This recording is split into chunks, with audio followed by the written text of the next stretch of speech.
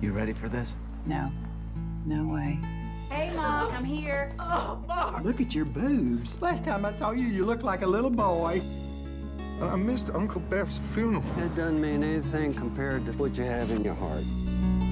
Dear Lord, we ask that you watch over this family in this sad time, oh Lord.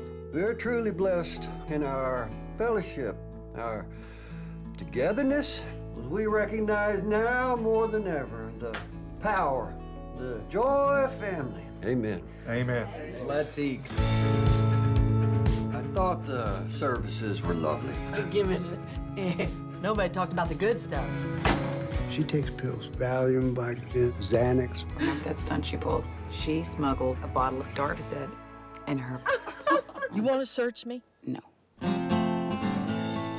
Bill, where are you living now? Beg your pardon? You and Barb are separated, right? Is there a younger woman involved? Yes. Well, see, odds are against you there, babe. Mom believes women don't grow more attractive with age. Oh, I disagree. And it's not really a matter of opinion, Karen, dear. You've only just started to prove it yourself. That's pleasant.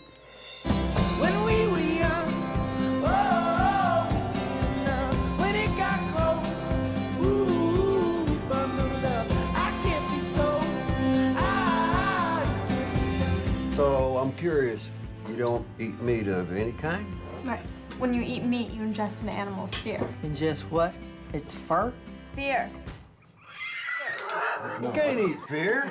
Our kid is trying to deal with this madhouse you've dragged her into. This madhouse is my home. Yeah, think about that statement for a second. I have an Indian in my house. They're called Native Americans, Mom. They aren't any more native than me. In fact, they are.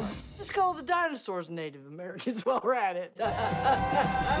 You are in rare form today, Vi. I'm just truth telling. Some people are antagonized by the truth. When we were young, oh.